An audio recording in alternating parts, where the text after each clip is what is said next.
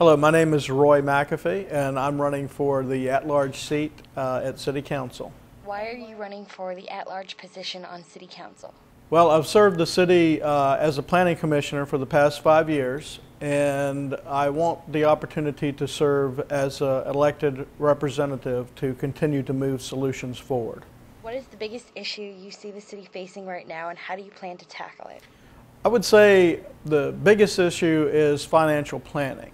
We need to have a financial plan with goals and incentives that allow us to use it as a ruler against incentives and development that comes from outside. A vetted plan that builds on who we are as a community and what we want to be. What is your stance on the new courthouse? Do you agree with the team the city selected to build it, and why or why not? Um, I don't find a lot of value in criticizing the past or decisions. Uh, we have a decision in front of us. I think we have to move forward in a financially responsible manner.